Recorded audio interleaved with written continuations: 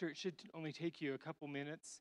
Um, one student was talking to me and was a little bit worried that it was going to be like a paper that you had to write. And I'm an English teacher. As much as I love signing long papers, uh, that's not what this assignment is. It should just take you a couple of minutes. But make sure you complete the response assignment after every presentation you attend. Uh, also, we keep updating the calendar and Canvas for cultural events you can attend. Four or five of you have already submitted a cultural event survey, uh, and so go to the planetarium, go, go to the plays, go to the concerts.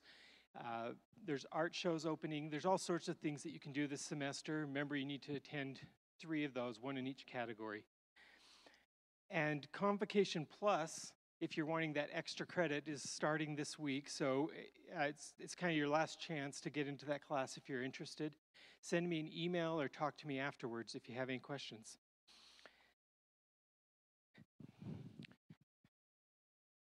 I'm uh, thrilled to introduce our speaker today.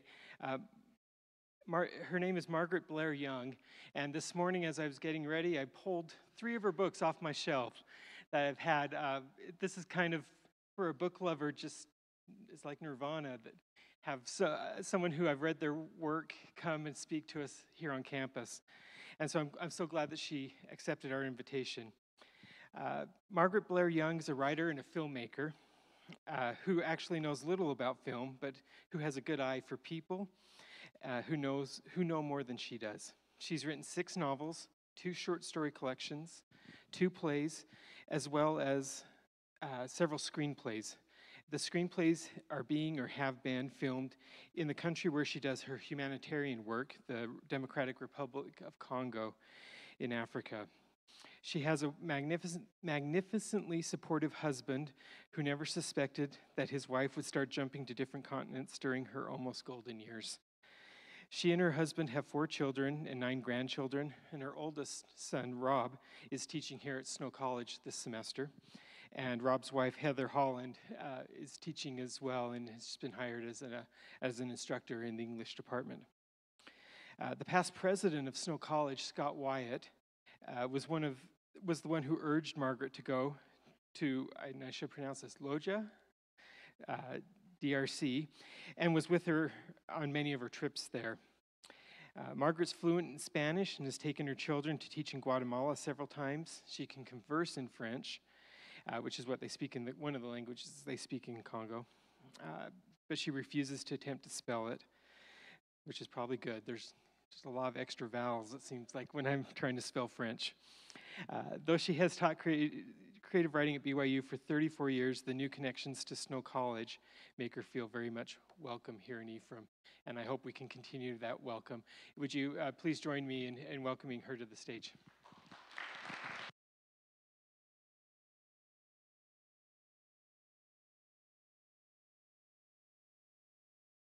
Thank you so much.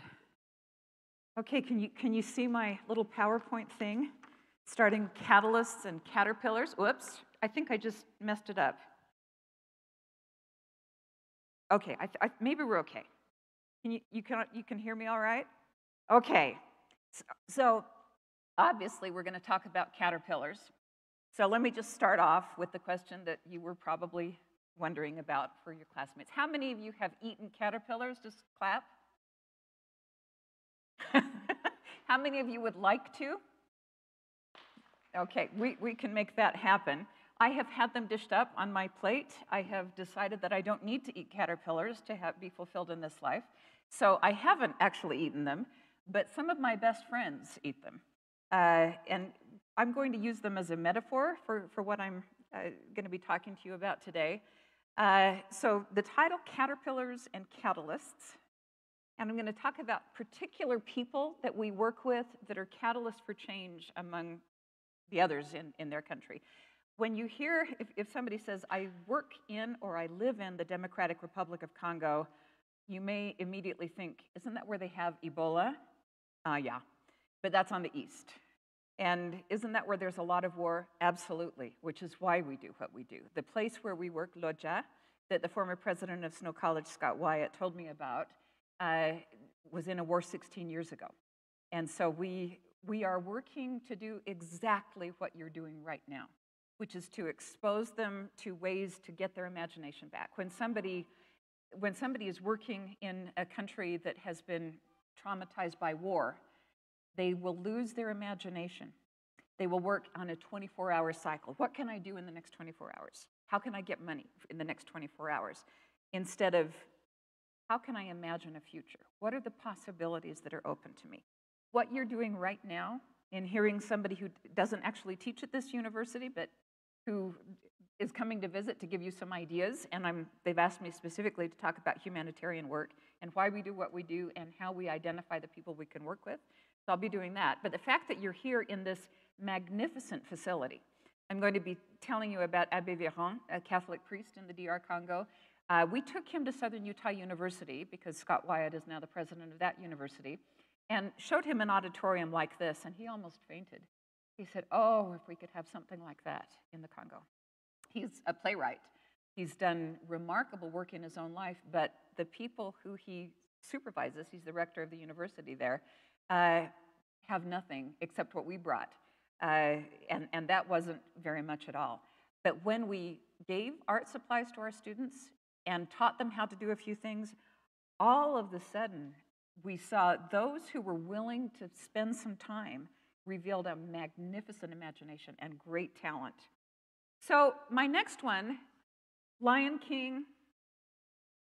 Here are actual caterpillars, and then the phrase from Lion King, uh, which is slimy yet satisfying. So the question is it true they never become butterflies? I have a godson who lives in the Congo, he's Congolese, and uh, he, he told me that the caterpillars they eat are meant to be eaten, that they never turn into butterflies. And my thought was that would be kind of counter nature because caterpillars are created to turn into butterflies. But he assured me that these caterpillars didn't. But the last time I was in Lodja, just this past April, I was in a field where there were hundreds of white butterflies. And the man who was showing me around said, These are what the caterpillars become if they don't get eaten. So, the title of my presentation, Failing into Flight, not falling, but failing, because I am going to talk very directly about failure, because we have failed a number of times in what we've done. But as we've identified the catalysts in the country, the ones who we can really work with who have already launched themselves, but who are awaiting a little more fuel. Uh, we've, we've, we've learned how to move beyond failure and to even not be discouraged by failure. Let me give you an example of something we did. This is the inside of a truck that we sent to the Congo because the priest told us what he really needed was a truck and we were able to get four incubators. They, they lose premature babies all the time. Uh, and the doctors there told us that they really needed incubators. So we got them. But notice what it says just because you got to the border doesn't mean you reached the destination. We sent the truck there last October. It is still at the border. The, the border guards want bribes. We've paid one bribe and have decided we're not going to continue paying bribes. It appears that there will, keep, there will be new bribes all the time. So, kind of that let us know this is not going to be the avenue that's going to work. Part of our mindset is finding the avenues that open more doors. And it's not just the first door, because we got the truck to the border. Then the door needs to be open for us to get it to where it actually does some good. So you can identify a first door approach, but if that door doesn't lead to other doors that will make a difference, you haven't finished your, your journey. So I'm going to start off by telling you the story of Tshoper Kabambi. You can see him in the first photo, like he's holding something. So let me, let me tell you about Congo. Uh, there is an Institute of Arts, but no film program. At least there hasn't been. I'm not sure if they've followed up on what Tshoper did, but that we do now have film. So the Tshoper story, he went to class in the National Institute of Arts and said, I want to study film. The response was, we don't have a film program. You have to be rich if you're going to make films, and you're poor. So, of course, we don't have a film program. So, that could have been enough for most people to say, oh, all right, then I'll choose something else. But it wasn't for Tshoper. He had decided early on, and I want you to think maybe some of you are quietly keeping goals that you might not even have told anybody about because they sound so beyond what anyone would imagine. Well, Tshoper had dreamt of being a filmmaker from the time he saw his first film, and there are no cinemas in Congo, zero. So they would see them if somebody had a television set, they could get a film made in America or in Europe that was dubbed, or, or in India, and they could see it dubbed in French. So he had seen a Bollywood film and thought, that's what I want to do. I want to make films. So his answer, after he was told there is no film program here, you have to be rich to make films, was to start it himself. So he literally carried a television set that had a VHS port. Do you remember those from when you were a little kid, where you could plug in a VHS tape and watch a movie? So he brought that to the school every day. He didn't leave it at the school. Theft was a, an issue. And so he would bring it several, walk, walking several kilometers a day uh, from, from his home to the, to the National Institute of Arts, and they would watch films and critique them and figure out what was going on. What are they doing with lighting? What are they doing with the, with the characters there? So I had Tshoper pose as though he were carrying a television to show what he did at the National Institute of Arts. Well, indeed, he eventually was able to get a camera. It wasn't a terribly good camera, but it made film. So he took that camera out. He, he, was, he rented it, by the way. He, he didn't have the money to buy it. A rented camera, and he went to start filming, and he was thrown into jail. When he, he described in awful detail what it was like to be in jail. He said basically everybody got one bathroom trip a day. So they would just relieve themselves within the jail, jail cell. So it smelled terrible.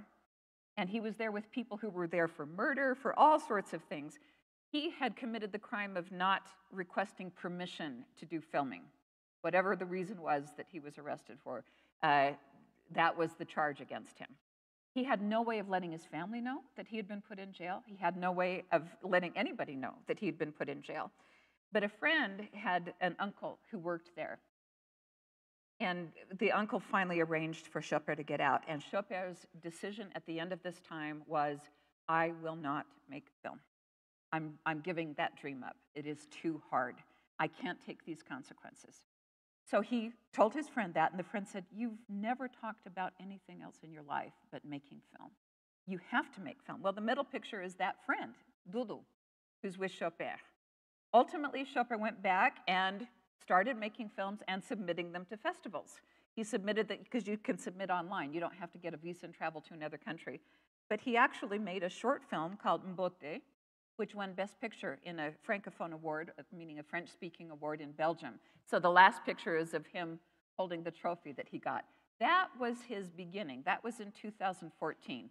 So five years ago, this past year, we made a feature film. And uh, I, I, won't tell you a whole lot about that because we're going to be talking about other stories, but just letting you know that he chose not to give up on that dream and that his friends mattered in that decision. So that's one of the things you get to do is to be a friend, to help, help your friends keep their imaginations alive and, and to avoid discouragement. So the one the story we're going to tell is of Tshoper's mother. So you can see her when she was about 18 years old. Uh, she was born in 1965. You can see her when she's in her 30s, and you can see her as she looks now. One of the things that we do as part of our, uh, I, actually, I'm going to give you an email address now because Professor Allred said that you don't have to give a long response.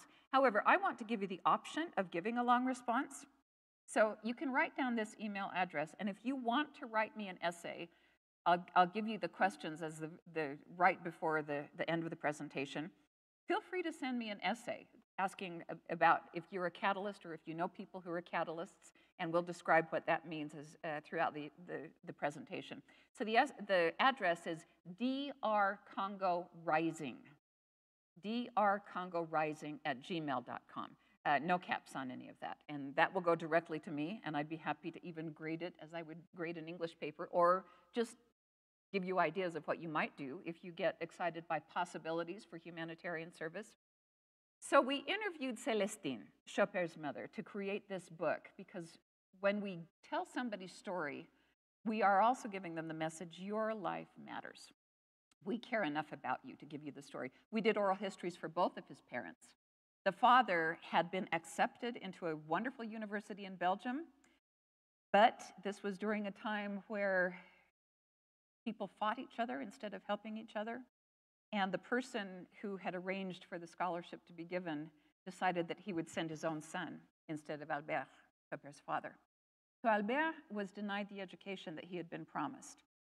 After we gave him his book, and I'm going to show you Celestine with her book, I, I taught bookbinding as well as oral histories, uh, which again is a way of giving a sol solid evidence that your life matters. And when there are pictures, we would put them in, the pictures from the life, such as I just showed you of Celestine.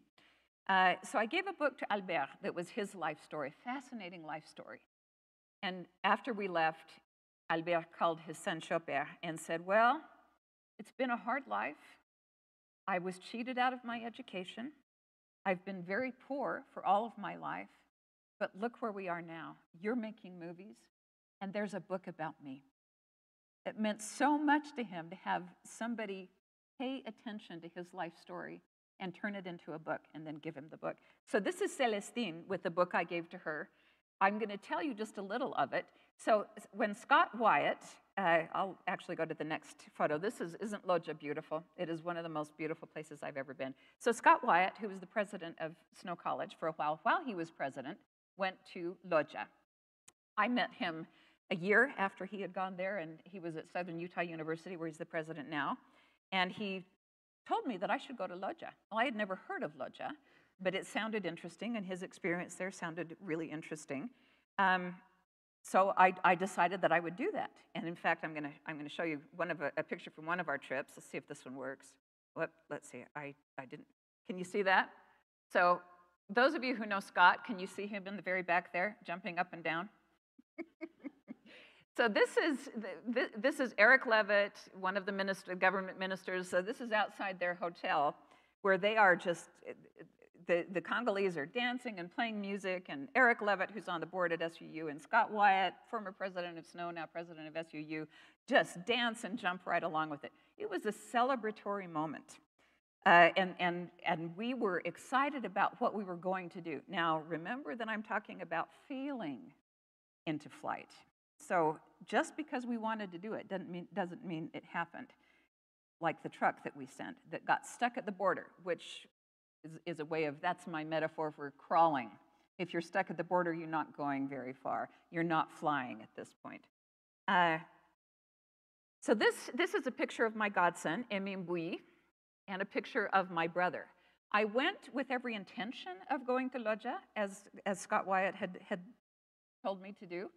Uh, and I was there and realized if I'm to go, I actually have to meet a government official who I don't trust. So I think I'm not going to go. And I told my godson that I had decided not to go to Lodja. My brother was still in France. He had gone to visit his daughter in England, and his passport had been stolen. So he's stuck in France. I'm in Congo. He was supposed to be with me, but he doesn't have a visa. So we do one avenue after another to get his visa, and then it becomes clear I need to meet with this particular government official. The door is open to me to meet with him. Though I'm concerned about it, I decide that I'm going to meet. He meets with me. He's from the Lodja area and gives me a ticket to fly to Lodja. So I am literally flying at this point. Even though we've been stuck for several weeks with my brother without a passport, or a, the passport's restored, but not the visa. And then I go. I am on my way to Lodja. I step off the plane and meet Abbe Véron. Let me go to the next one. Being stuck, here are some possible responses. There, there are two that I've identified. There are many more, but here are two. Isn't this interesting? That's a really good response to something that you hadn't expected that feels like an absolute failure. It feels like you maybe are not going to be able to recover from the fall. Isn't this interesting? I wonder what new paths I'm headed to. So think of a caterpillar realizing that something has changed and something is happening, maybe something uncomfortable, or I want to die, please eat me, which is the way that you won't make it into the, the next doorway. So I go to Lodja. I'm by myself. My brother, uh, the visa doesn't permit him to go to Lodja with me, so I'm by myself. I'm told that I'm to meet Abbe Véron. This is the Abbe. The Abbe means father in, in, in French, abbot. Um, he is a remarkable man. one who did a PhD in France and was given a huge award of 60,000 euros as a prize for the PhD thesis he did. He takes me around to see his schools. Uh, this is me. The, when, when I'm in Congo, I periodically go all Africa and do the dreads because it's actually a little difficult to live without water, and the, the dreads make it so I don't have to wash my hair every day. So I'm with the children. They're sitting on stones, and the abbe is telling me about what he's been able to do with the funds that he has. I start recognizing him as somebody who can really make a difference and somebody who we want to work with. In uh, one of the most significant things as we started working with Abe. and a friend of mine came down who's an artist who brought all these art supplies so that we could teach the students how to do art. Now consider, they were in the war 16 years ago, so all of their parents were traumatized by the war. Many of the, our students themselves started their lives during war. Nothing could be absolutely guaranteed, not even your life the next day. So we realize that art, as a builder of imagination, as a, a teacher, that you can imagine something beyond what's apparently here. I can give you colors and paint possibilities, and you can create something that's not what you just immediately see. And the students did that. So one of the things that Diabe wanted was for us to get a wheelchair for a young woman. I've, I've got her pictured here. Her legs didn't work at all. I had an experience yesterday that fits in with this beautifully. I took my granddaughter to the Provo Rec Center, and we, we do this whenever I babysit her. We, we go swimming. So we were swimming, and there was a, a young man who clearly had been uh, born with serious handicaps. His legs didn't work. And they, put, they lowered him into the swimming pool to also swim. And my granddaughter saw him and said, He doesn't have legs. And I said, Well, he has legs, they just don't work. And she burst into tears. That idea that things could go so terribly wrong was apparently a new concept to her. I don't know what all of her thoughts were. She's not even three. She won't be three until September 15th. But the facing the reality that your legs don't necessarily work, that things can happen. Oh, did we just lose it?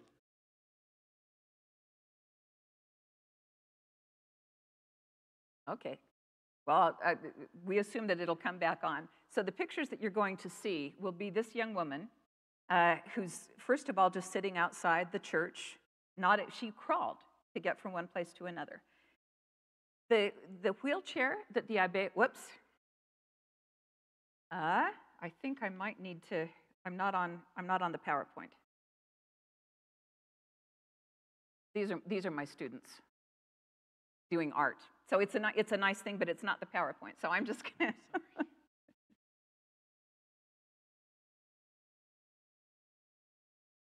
there we, there we go. And then we just, yeah, that's where we are. Yeah. Start slideshow, current slide.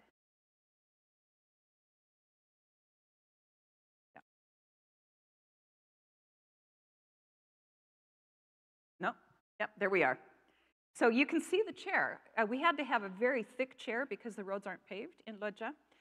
The big thing to me, uh, first of all, a beautiful thing to see this young woman. This is when we first met her, where she didn't know that we were going to, that we had the funds and we were going to be able to get a wheelchair for her. It was presented to her during Mass, but it was afterwards that she actually got in the chair. The, the people around her lifted her into this chair. This is an effort of a community. But then watching the crowd, can you see this large crowd around her?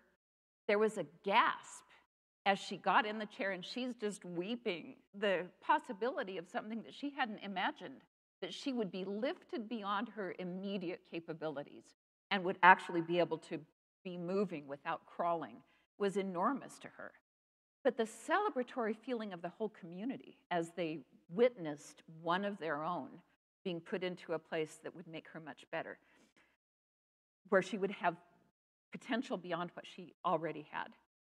Abbe Véron, this is a picture of him as a young, very handsome soccer player, the first one. But he moved beyond that, and, and the next picture shows him there. That's at the same crowd where they've given the wheelchair to the young woman. because of the things that he learned, because of the ways that he was able to bless those, and because he cared about his community, not just about himself, that communal connection mattered deeply to him and still does. It is still a part of what he sees himself doing. And then the last picture is of him as a priest in Catholic Mass. He decided that that would be the best way for him to serve his people was through a religious order.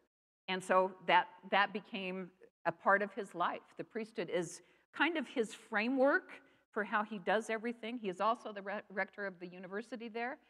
But as he feeds the community spiritually, he's also taking care of them in other ways. Now, there's more to be done, and that's why people from other countries become deeply important because we have access to things that they simply don't have access to. Our responsibility is to find ways where we're feeding thousands. That, that through people who are already working there and who have a vision of the future, such as Tshoper, such as Abbé Véran, that we're able to reach many others. Now, we had a plan to do a film set in the Congo, but my sense was they won't really know how to do movies there, so we better take a film team. So this is me with our film team in Kinshasa, Democratic Republic of Congo. They are brilliant men, and we're still working with, with them, uh, with at, least two of them. Uh, we, I thought this was how we were going to do it. Their reaction to Congo was there's no infrastructure here. We can't do a film here. Watch out for the words we can't, because there are ways around them.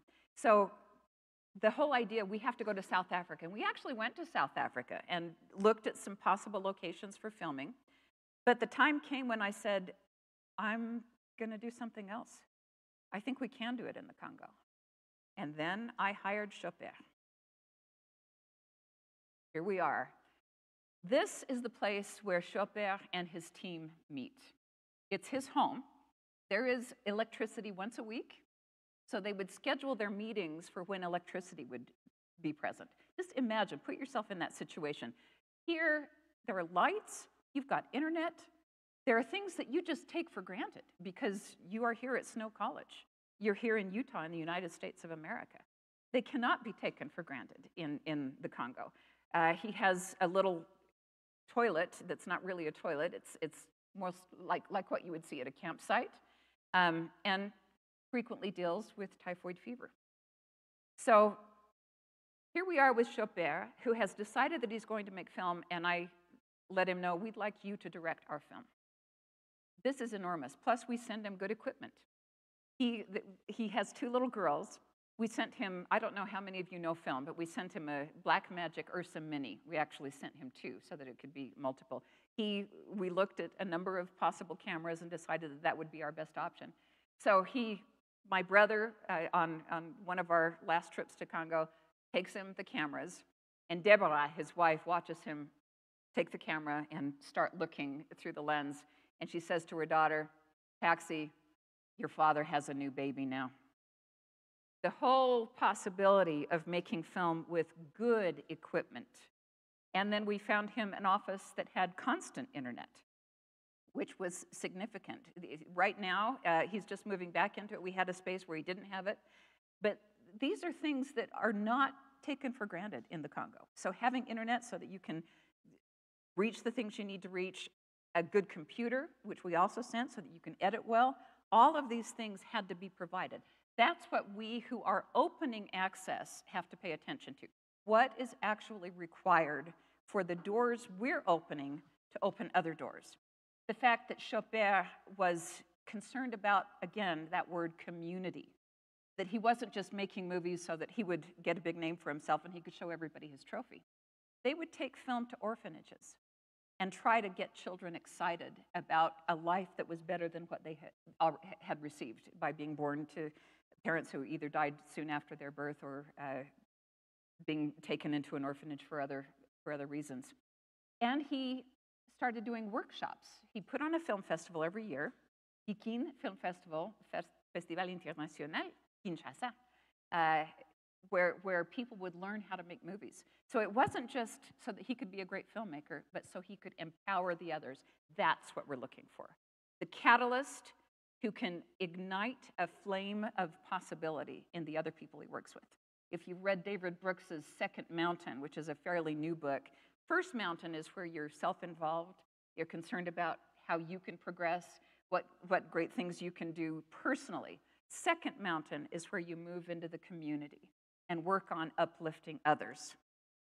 So, what we knew as we hired Tshoper to do the film is that he had the skills, but we also had the story of his mother. Did I mention that his mother had been born near Lodja?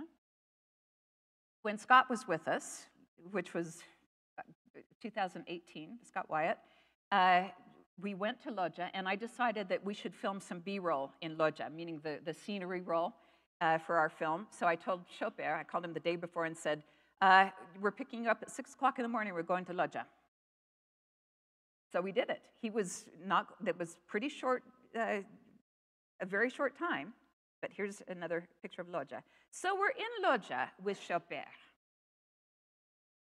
And then he gets an unexpected phone call. And remember the pictures I showed you of the beautiful woman, Tshoper's mother, Celestine? This is her with her grandmother, who looks a lot like her aunt. And Tshoper gets a call telling him, Did you know your aunt is here in Lodja? Now, this is a door that we hadn't anticipated. My, I, I am a theist, I believe in God. I believe that we had always been a part of a divine plan to reunite this family, to have something where, where there would be a, a great at one of, of the family. Celestine uh, had been born to a mother who died right after the birth. The mother had heroically led her family into places where only she could get because it was during the independence movements of the Congo. It was dangerous. There were rival tribes who wouldn't allow passage. And you had to, in order to pass the checkpoints, you had to speak a particular language, which she spoke and which her husband did not. So she was the guide but the, the time came where they were cast out of the village, and she ran, went into labor, and delivered the baby, who was Celestine, and then she died. The family was heartbroken. They went back to the village to meet their deaths, really, because they decided there was really no reason to continue on. And so they decided they would leave the baby behind and return to the village. So it was Celestine who was abandoned in the forest. And the family went back to be killed and were told, We're not going to kill you. So a couple of days had passed. And the big question is is the baby still alive? And uncle went back for the baby. It had been four days. She'd been abandoned for four days when he went back. And she was alive. The aunt, the one who we're told lives in Lodja, came in to take care of this little girl, this abandoned baby, and raised her for the first decade of her life. And then Celestine was sent away for her education. And the aunt continued to live in Lodja. Tshoper had never met his great aunt, the woman who had raised his mother, and she, Celestine, had not seen her in 40 years. So they had been separated for longer than most of you have been alive. This phone call that Tshoper got telling him that his aunt was in Lodja was overwhelming. We got to go meet this great aunt who had raised his mother and you can, you can see a picture, an archival photo that we have of her back at the time when she was raising Celestine. Tshoper, as he was talking to his aunt, and by the way, he did not speak her language. It's a different language in Lodja than it is in other places. So he had somebody translate for him. But he looked at us and said, I can't tell you what I am feeling. I am very happy again, the connection, the community. We were connecting him with the people who had made a difference in his mother's life, in fact, had saved her life, and then prepared her for what the rest of the life would be. Um, when we went back to our hotel, he started weeping with this the reality that he had met the woman who had saved his mother's life. So the key, and I've got pictures of Tshoper and a picture of Abbe Véran, Find a catalyst, somebody who is already working with others to move forward. Now, remember when I told you about Tshoper going to the National Institute of Arts and announcing that he wanted to be a filmmaker and being told, you can't make films, you're poor. You have to be rich to make films. Well, in this first picture, before we started making what we call Ashawa, part of Africa, Uh, I went to meet the people at the National Institute of Arts. The person in the middle is named Elbaz, and he's the one who told Tshoper, You can't make films, you're poor. The second picture is from our film, Heart of Africa, and Elbaz is one of the stars. He, pl- he plays a revolutionary leader, Mwabila. So, this very man who said, You can't do that, those scary words again, is in the film and then says to Tshoper, This is going to work. And not only that, I have a film I want to make, and then starts telling the story. Suddenly, he is empowered with a possibility he hadn't considered before. He believed what he said to Tshoper, that he couldn't make movies because he wasn't rich. You have to be rich and probably American or European in order to make movies. So he started, he came up with a story that he wanted filmed. We haven't done that one yet, but it's coming. Um, in April, we flew Celestine to meet her aunt and others of her family who lived in Lodja. She had not spoken the language since she was 10. So it was kind of childish, and people kind of made fun of her that she wasn't terribly fluent in the language. But we reunited this woman who had been abandoned as a baby and who people thought would die. When they left her in the forest, they thought she would die, they thought they would die. The possibility of life as they turned back to return to the village to offer themselves to be killed was not a reality. It was a death scene. But it all changed.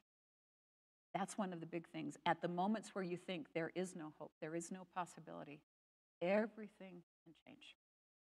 And this moment of reunion was, was a huge moment in Celestine's life. I'm actually going to show you the, the reunion itself. Um, I might need help getting it on the, on the computer, but let me go to the next one. This is the one where I told you you can do a little bit more than the response essay. So these are the questions. And if you want to answer one of these at length, if you're dying, if you were really disappointed when Professor Allred said this is not a long paper, and you said, ah, I want to write a long paper. Well, you can do it for me at drcongorising at, at gmail.com. Uh, who do you know who is a catalyst? Think of the earth shakers, the, the movers, people who you've watched overcome odds that you thought were not a possibility. Are you a catalyst? Uh, I'm just going to have to read it for, for uh, I lo we lost it again, so I'm just going to read it for you. Are you a catalyst? Would you like to be one? What steps can you take to begin that metamorphosis? If you're a caterpillar, are you willing to become a different creature? If you encounter someone who seems like a caterpillar, can you discern their possibilities and help them pursue a glorious future? Now, let me, let me see if I can access our um, Racine, the, the actual reunion when we, let's see if this comes up okay. No input is required, is, is recorded? Okay. So this is our, this is our film. Not, this is the film we're still making. Uh, hold on, let's, let's hold off until we, we can actually get that. So you're going to get to see the moment of reunion when Celestine sees the great, the, her aunt, who she hasn't seen in 40 years, but who raised her as, as a child when everybody had given up on even the possibility of her surviving. Everything changed. We're, we're still not quite there yet. So I, I, I can see it on my screen, but you can't see it there. So I'm just going to hold it here. Are we almost there?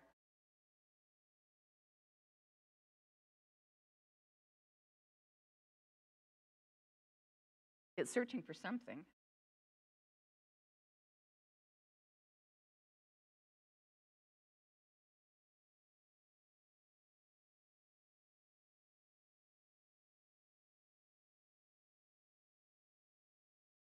We, oh, no, we've, we've got that. Now, if we can just get it to this, the film. Racine. Do you know what racine means? How many French speakers do I have? Who knows racine? It means root. So Celestine, it's Deborah, Tshoper's wife, who's actually heading up the, the documentary, and she decided that it would be called root, singular, the, the whole idea of rootedness. Okay, which one? Um, so it's going to be this one, right? Have we got it yet? I might, I might just need to. We still don't have it. I can just turn the, the computer around. It's, it's hard to see. I'd be happy to provide the footage. We actually have a 10 minute excerpt from the documentary we're doing, but if, it's hard to see it very well. But Celestine is approaching this woman, and then they just scream and shout. The, after they're just here, they're just crying as they embrace each other and walk in this embrace back to the house. And then we have reunions for the rest of the day. And then the, what I'm hearing here is the crying. It goes on for a long time because because of the, the distance. And nobody had thought this could happen. So important. Nobody imagines the possibilities that you have in your future. Maybe not even you. And, and at times where it feels like everything has fallen apart, everything has been disrupted, and you're just crawling like a caterpillar, the possibility of those wings are absolutely present. The things that happen to bring you to the peak moments of your life, the pivotal moments where you become a catalyst for others, which is what we are actually aiming for. It's not where you become famous and where people give you a standing ovation. It's where you are empowered to turn around and help others. Second mountain. Yeah. So the, the, the questions that I, that I gave you about are you a catalyst? You know somebody who's a catalyst? If you are crawling right now, if you've just gone through a disruption, at this age, there are a lot of disruptions that we go through, meaning your age. At my age, there are a few, but, but I'm, uh, uh, they're a little greater, I think, when you're, when you're in, your 20s. Um, because there are going to be marriage possibilities, career possibilities, and sometimes you can even be a, afraid to dream very big. Well, as we've looked at the people that we can help, uh, as, as we've recognized the real catalysts who are moving things in the Congo, and as we've fueled them to do what they were already doing, we've done the work, it's a, a godly work. We've done the work of giving them wings. We talk about racine, which is roots, and wings. Give your children roots and wings. The groundedness, they are centered in home, family. The wings, they have limitless possibilities. I'm going to open it up to questions now, particularly if you want to ask me about humanitarian service. Um, I should mention Elias James is a teaches here. He did the score for the film Heart of Africa. That's Elias.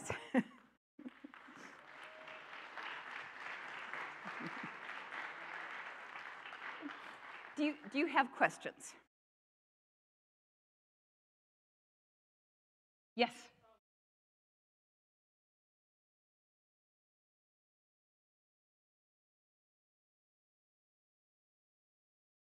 No, I had already been doing it. I had already, I was already, but, but honestly, it started from the time I was a baby. Uh, when I was eight years old, my father is a Mayanist. Uh, my father has passed away now, but he's still a Mayanist. Uh, it may be irrelevant where he is, but he studied dialects, various dialects. And so when I was eight, I had my first trip to Mexico. When I was 19, we went to Guatemala. And I, after hating it for about six months, I fell in love with it. Some of you are going to experience that same thing with roommates, with marriages, with college. Uh, you know, they, there are times of feeling stuck and like you're, you're not going to be able to progress in the environment you're in, and then suddenly you figure out how to make it work. So I fell in love with, with the people I was with and then returned six times, taking my children, uh, several of my children with me. And in fact, my daughter, who's a great singer, did concerts there in Guatemala. Uh, we taught at a little school. We taught English. Is Adriana here? Ah, Adriana. so she's her, we work with her father, who my father had helped learn Kaqchikel, the, the dialect that's spoken in the area where we are. Um, so it was a lifestyle for us in our family to kind of be fearless about crossing borders, uh, to not really worry about languages. You know, the, all of the things that you say, I can't possibly do it because, and then you make your list, I'm going to have to learn a new language. Well, the way you learn a new language is to step into it and be willing to fail. Because you don't, if you go thinking, how do you conjugate that? What, okay, the word order, I, I don't even know how to spell that. You are failing to communicate right then. You move in and you start communicating, and the children will come and help you. And that way you make friends. It, it's an invitation. The fact that you are flailing in the language is actually an invitation for friendships to happen. So it becomes the opening to the community you want. So my daughter Julie did a couple of concerts in uh, the place where we were, Chimaltenango, Guatemala.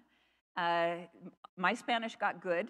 I certainly couldn't do it when I first started, but I knew the Blair philosophy, that's my dad's philosophy, that you just jump in and just be willing to make a fool of yourself. It's something that, especially as people get older, it becomes more and more daunting. The idea that you would appear foolish is a really scary thing.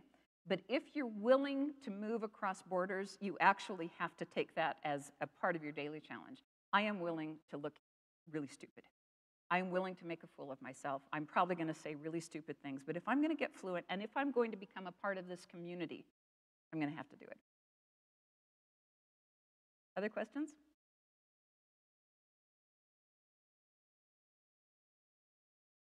Yes.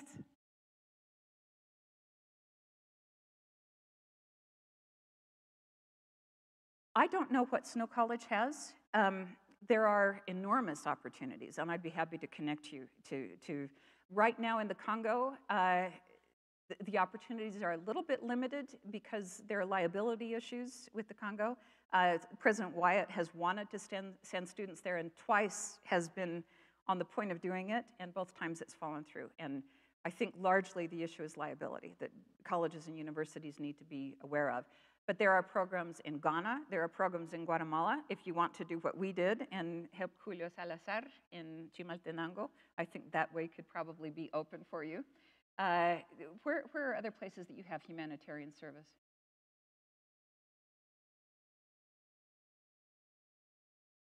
Chimaltenango, el Colegio Mesoamericano. Yeah, yeah. Which is a wonderful place. And it's not, you know, when we, when we do our work in Congo, we are really third world. I, have called it third world minus, because it's uh, in Guatemala, we actually do have water and a nice little place when I've gone down. They've, the, Julio has arranged for me to stay in a little house with my family. Not much that I don't have there. And I'm able, that's another thing, is to be willing to live outside of your comfort zone. So even in Congo, I'm willing to live in a way that's not comfortable.